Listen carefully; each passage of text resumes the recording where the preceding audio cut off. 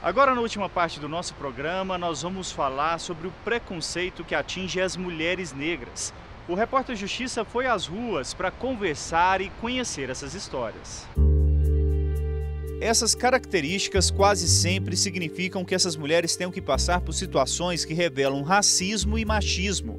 Quem conta pra gente um pouco dessa realidade é a Cristina dos Santos, mestre em políticas sociais e integrante da Frente Mulheres Negras do Distrito Federal tive a possibilidade de fazer um mestrado, de, de passar num concurso público, mas isso em geral é exceção. O que a gente vê nesses espaços são as pessoas brancas, né? são as mulheres brancas. Ela conta que até em situações cotidianas o racismo está presente. A Cristiana teve problemas ao ir ao banco que tem conta. A porta giratória eles não. Ela ficou apitando, apitando, não me deixavam entrar.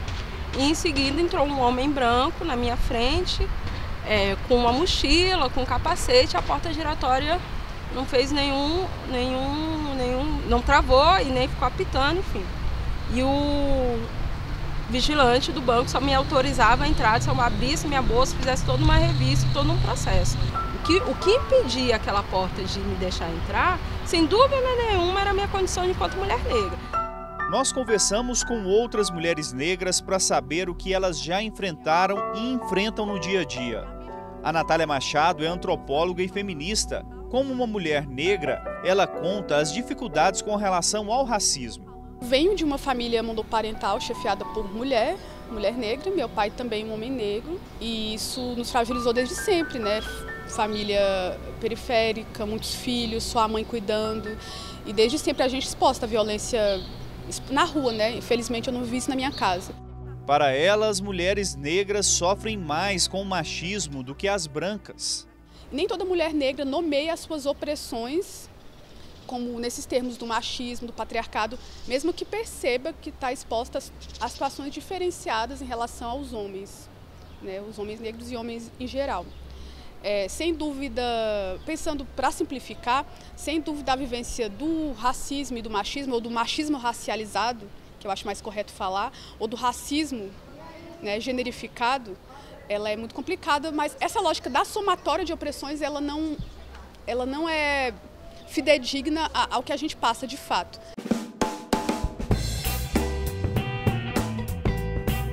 O repórter Justiça também veio a um salão de beleza. Aqui, a Adriana decidiu valorizar a beleza e os cabelos da mulher negra os cachos passaram a ser ressaltados e os alisamentos com produtos químicos foram deixados de lado. Adriane, como que você decidiu mudar seu salão, o foco do, do seu salão de beleza, de cabelos alisados, né, de algum trabalho para o cabelo é, ao natural? Quando eu resolvi mudar o meu cabelo, e aí eu parei de alisar meu cabelo porque eu tinha muitas alergias e também porque o cabelo não desenvolvia. E eu via o cabelo de algumas clientes que também não desenvolvia. E aí eu pensei, falei, então, ser cabeleireiro é isso, é detonar o cabelo, é construir um cabelo. Parei de alisar o meu de novo, cortei, fiz o bicho. E aí quando meu cabelo começou a crescer, natural, as minhas clientes que alisavam queriam saber o que que era. Como é que você fez? Como é que cuida? Como é que trata? Tá ótimo, tá lindo. E aí eu vi a necessidade das minhas clientes de terem o cabelo natural bem cuidado. E aí voltei os cuidados para elas. E essa mudança no cabelo, Adriana, para você é uma forma de encarar o preconceito de frente? Como que você observa? Com certeza, porque é um tapa na cara do racismo, do preconceito, né? Tipo, você branco, acostumado com, aquela, com aquele padrão europeu, e aí eu venho com meu cabelo enorme pro alto, e aí é uma questão de afrontamento mesmo, assim, né? Pra mim é a mesma coisa de você, a pessoa que quer mudar o cabelo negro, é a mesma coisa de você querer mudar o olho japonês, entendeu? De mudar o seu olho claro. Então, assim, é nossa genética, não tem como.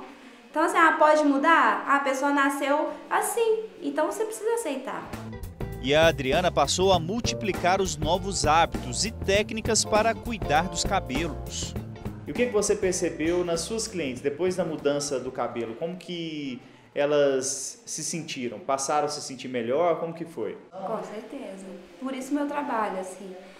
Elas saem radiantes, assim.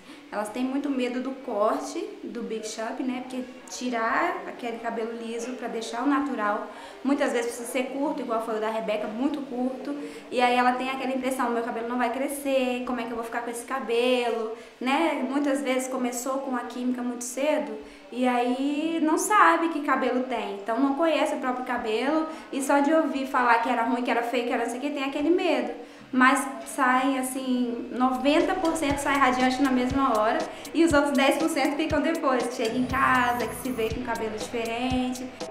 A Rebeca é uma das clientes. A estudante de jornalismo só foi conhecer como era o cabelo dela quando ficou cansada de fazer os alisamentos e agredir os cachos. Foi em 2013. É...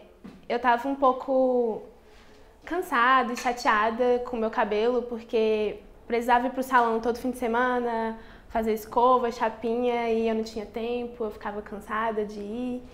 E aí a minha irmã, na minha casa, ela já usava o cabelo natural e aí eu decidi usar também. Rebeca, como que foi o período de transição para você assumir seu cabelo natural? Foi muito difícil, porque você tem que esperar o cabelo natural crescer. Então você fica com a parte do cabelo natural e a outra parte alisada. E aí você fica naquela vontade de alisar de novo, porque fica feio. E é muito difícil, assim, eu, é eu acho que é o período mais difícil, principalmente para autoestima, né? A gente fica se sentindo feia, mas depois que passa, é só maravilha. Hoje ela tem muito orgulho do cabelo, em poucos minutos sai um penteado diferente. Agora a jovem incentiva as amigas a também usar o cabelo natural. Com certeza, assim, é, eu acho que as pessoas devem ficar do jeito que elas se sentem bem, mas eu percebi isso não só em mim, mas nas minhas irmãs, em outras pessoas que eu conheço, que depois que elas assumiram o cabelo, elas começaram a se sentir muito melhor, mais bonitas, mais empoderadas. Então eu acho que é uma mudança muito positiva. E as pessoas têm preconceito quando vocês assumem o cabelo natural? Como que é no dia a dia? As pessoas associam muito o cabelo crespo a cabelo duro, a cabelo ruim, que não dá para pentear. E eu acho que agora isso é uma coisa que está mudando bastante, né? Com as pessoas assumindo o cabelo, a gente está mostrando para o mundo que nosso cabelo não é duro, que nosso cabelo é bonito. E as pessoas estão aceitando melhor. É claro que ainda acontece, o racismo acontece bastante, várias situações, mas eu acho que está diminuindo e, e eu acho que a tendência é melhorar. Mudanças que não apagam as situações de preconceito que ela já sofreu. Com certeza. Desde sempre, acho que desde muito criança. E quando a gente é criança, a gente não entende muito bem o que está acontecendo. Só quando a gente cresce e lembra do que a gente já ouviu, do que já falaram pra gente. E a, e a, a gente entende, né, que é, como as pessoas são racistas, como o preconceito acontece e por quantas vezes a gente já passou isso na nossa vida e teve que aguentar.